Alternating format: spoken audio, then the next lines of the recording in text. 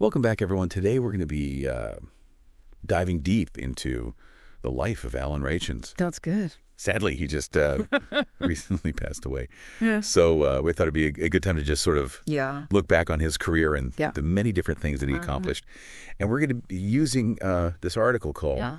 A Hollywood Tale of Grit and Glamour. Alan Rachins' unforgettable journey. Mm-hmm. It uh, it details really his journey through show business. I'm excited. Um, okay.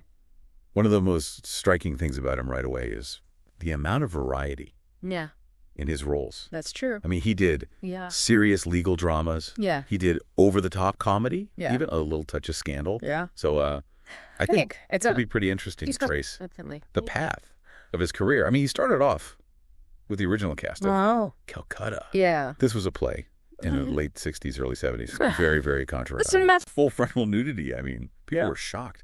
So to think about him in that context, and then years later be known for, you know, Yeah. a much more mainstream role Mm. of Douglas Brackman Jr. on L.A. Law is quite a leap. That's a big change. It really is. I wonder what drew him to, oh, Calcutta in the first place. Was it just a young actor sure. wanting to take a chance? Was there something deeper going on? Something more artistic, maybe. Yeah, maybe he was Hmm. attracted things that were really pushing the envelope. That could be it. You All right. know, a little bit edgy. Oh, Calcutta definitely was that. for sure.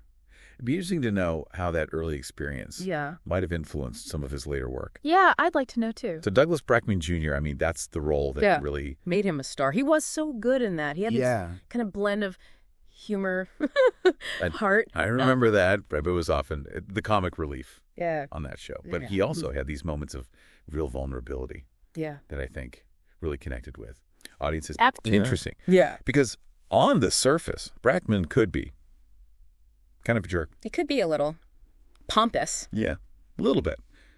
Obsessed with money, but Yeah. underneath it all, Yeah. he was a good guy. Mm, You know, he was trying to do the right thing. I think Braxton's really Yeah. brought that out in the character. He really did. It's a credit to it. Mhm. His skill as an actor. I think I never. let Brackman become a caricature.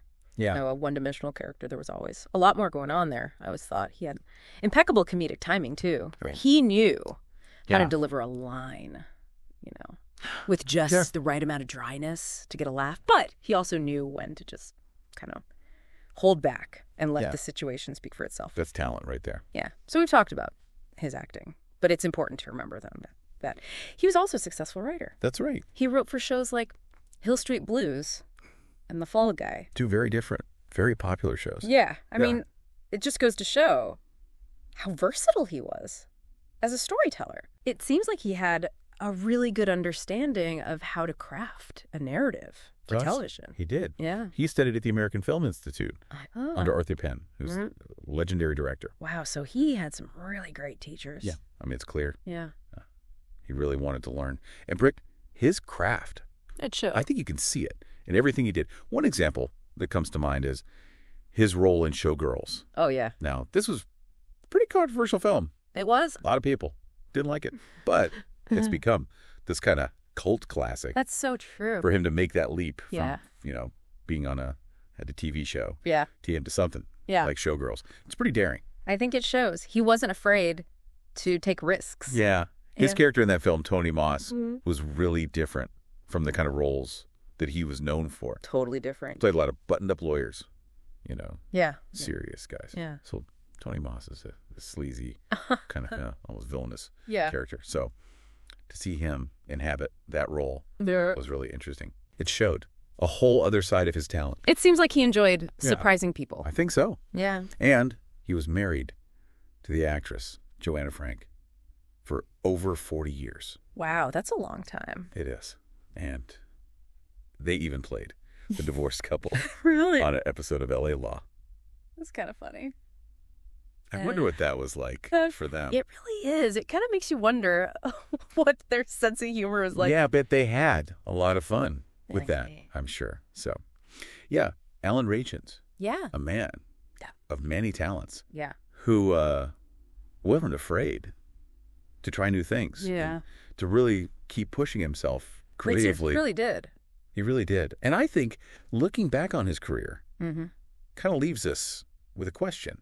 You know, That's the, if he was so willing to take Yeah. on all these different roles and explore these different genres, did he approach life the same way? I think that's a good question. Was he always He's- looking for new experiences, new challenges, Right. new ways to kind of grow Yeah, and evolve? I mean, that's great. Something to think about. it's a great way to look at it.